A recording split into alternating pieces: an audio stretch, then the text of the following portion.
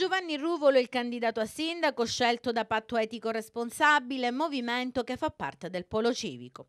Ruvolo ha, diciamo così, battuto, anche se non è stata una vera e propria competizione, Ferdinando Rovello e Stefano Vitello, anche loro candidati. Adesso che succederà? Succederà che alla prossima riunione, nella quale il polo civico è composto da più anime, dovrà decidere a sua volta chi sarà il candidato sindaco tra Ruvolo ed eventuali altri candidati del movimento. Ed intanto si attendono ancora eventuali alleganze, conseguenze del forum cittadino che probabilmente non arriveranno. Anzi, forse qualche spaccatura si intravede all'orizzonte. Infatti non è ben chiara la posizione di una parte dei comitati di quartiere che con una lettera inviata da Carlo Campione tra le ricche chiedono un ulteriore confronto con le forze civiche. Sarà che ad alcuni non sta bene Ruvolo?